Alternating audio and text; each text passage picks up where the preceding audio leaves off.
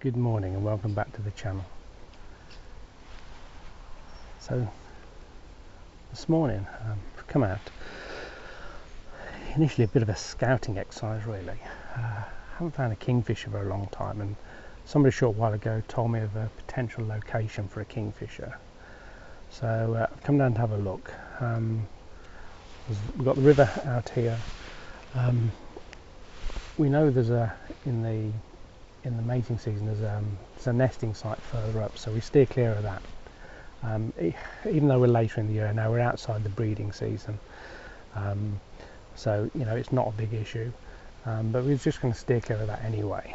Um, so we're just going to scout along the river bank, look for typical locations, um, and see what we can find where the kingfisher might perch. I mean, where, where the where the nesting site is, it's actually quite dark in there, so you're not going to get any photos in there anyway. Uh, this time of year with all the trees over the top of it.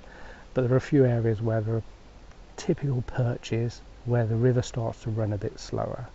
Um, and ideal spots where the kingfisher might come into and, and do a bit of fishing. So we're just going to, as I say, more of a scouting exercise today. Walk down the river, um, listen out for it, see if it's around, and you know identify potential perches and areas where it might might do some fishing for us. So, long shot, as I say, I have been told they are around a little while ago. Um, there's some great fields over the back of here as well, so you know there is potential for things like barn owls. A lot of red kites in this area as well, so you know we might get some red kites as well. Um, let's go and have a walk and see what we find, and see whether. Oops, something moving through the undergrowth down here. That's interesting. Um, um, but yeah, let's go and have a walk and see what we find. And you never know, we might get something interesting.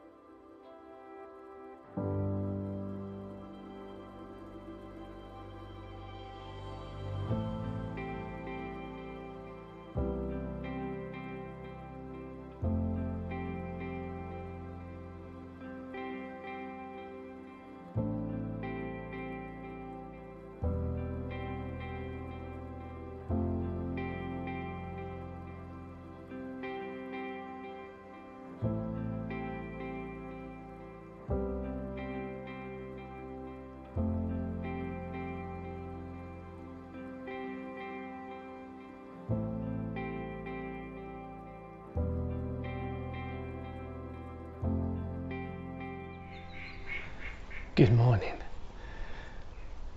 So we've come down to our, uh, our local nature reserve. Um, kingfish have been reported quite a bit lately. There's a marker post out on the water um, and the kingfish has been seen just perched on there and fishing off there. So I've come down this morning to have a look um, and basically see if we can get some sight of the kingfish. I haven't seen one for, for ages so you know really be good to see one at least. It's a little bit distant so we're going to have some issues on trying to trying to um, get some decent images of it but it's also uh, this time in the morning we're shooting into the sun as well which is not going to help either but let's see what we can find. And let's see if we can get some at least a few images. I think it'll only be a short video but just you know, a few images and a bit of footage of the kingfisher. That'd be nice. So the kingfisher's just sitting on the uh, on the height marker for the water. You can just see him there. Absolutely beautiful Hoping he's going to stick around for a little while. Let's see what we can get. He's a little bit distant, but great. I haven't seen a kingfisher at all for, oh, well, well over 12 months. So, excellent.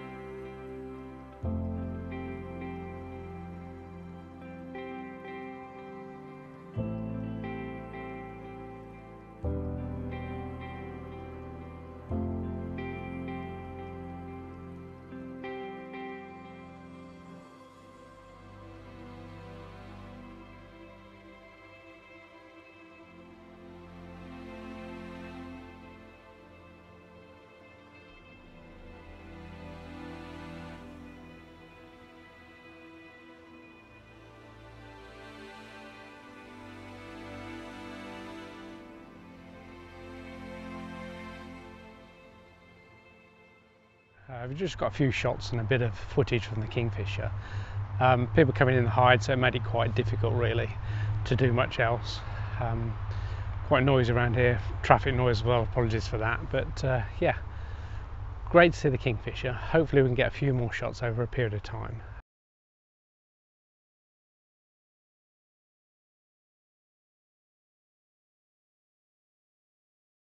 So this morning um, going out, we're going to look for kingfishers again, but we're taking the easy approach. I mean, we went out um, a few weeks ago looking for kingfishers uh, down by uh, a river not too far away. Um, and I'll put a bit of that into sort of the first part of this video because what we did look at is typical locations for kingfishers, looking for perches for kingfishers, all that sort of thing, and, and you know looking for some ideal types of perches as well. So I'll definitely put some of that um, in the video. Um, but we're going to go this morning to a place called Barnwell um, Country Park. It's quite well known around the area for its kingfishers. Um, it can get very busy. Um, so, I mean, once we're in the hide, we're certainly not going to be able to do anything. Um, we're going to have to really be fairly quiet, I guess. I, I, can't imagine being on my own in the hide, that's for sure. So yeah, so we're going to go to Barnwell, um, go and have a look and see if, to back up what we did uh, looking for the perches and things down the river, whether we can get some decent shots of kingfishers and um, uh, yeah, and some video as well, hopefully. Um, so we'll do that. I have I have also got a little bit of video of um, when I went down to the local nature reserve and did see a um, kingfisher recently, so may drop that in as well. Um, but let's see if we can find you some nice kingfisher images and video.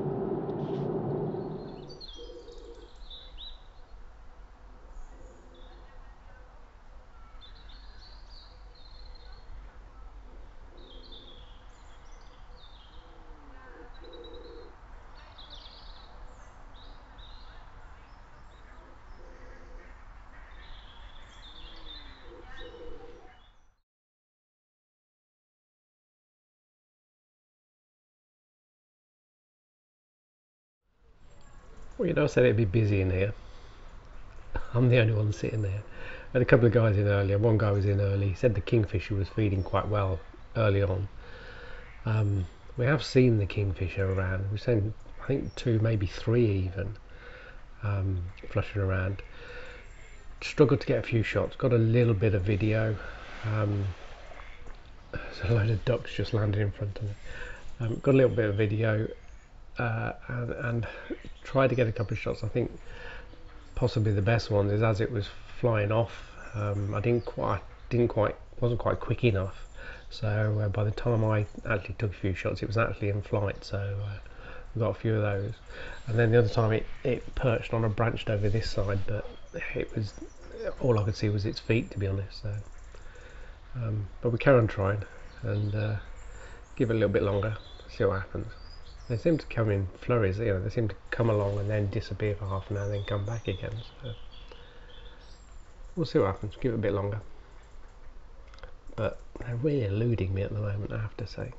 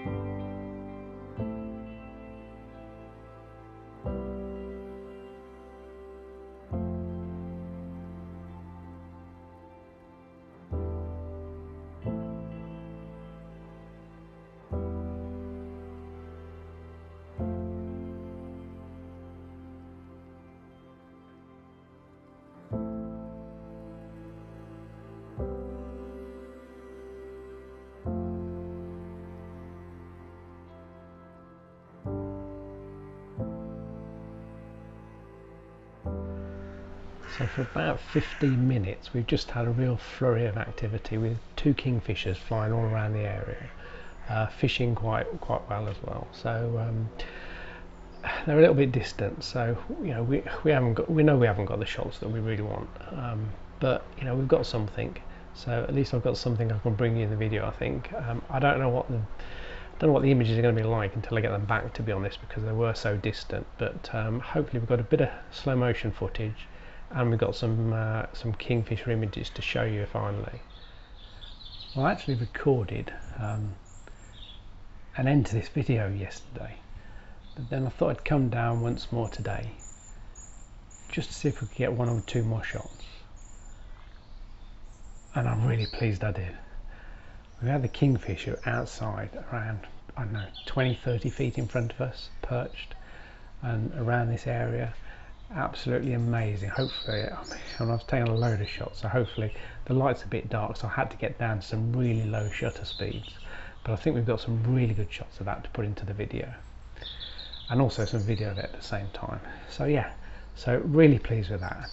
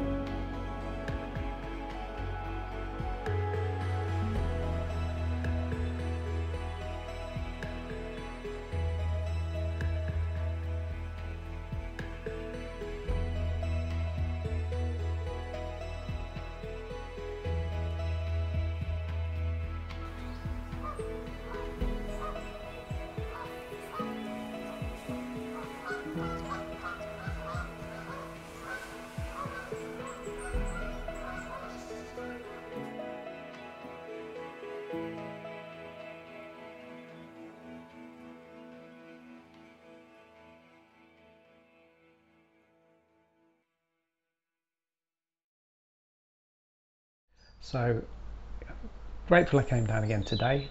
Um, I'm going to scrap yesterday's end of the video and you'll get a new one now and you've seen it. So um, yeah, hope you like the video. If you do, thumbs up would be great for me. And if you're new around here, don't forget to subscribe. Um, great to come out and about with me uh, and just see what we find. And uh, yeah, whatever you're doing, have a great day and I'll catch up with you again soon. Bye for now.